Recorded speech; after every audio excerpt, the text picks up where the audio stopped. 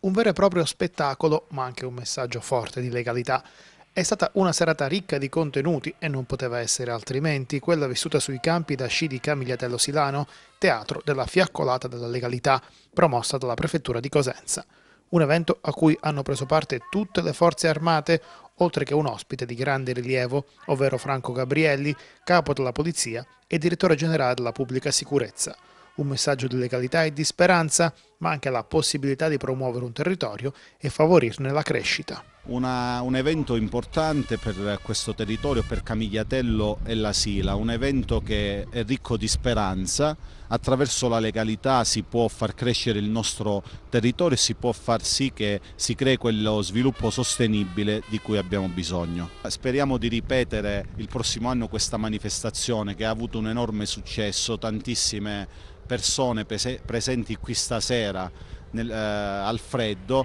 ad attendere questo evento, quindi veramente una grande soddisfazione, un ringraziamento alla Prefettura di Cosenza, alle Forze Armate, alle Forze di Polizia, a tutti gli organizzatori perché veramente uniti si è riuscito ad avere questo risultato.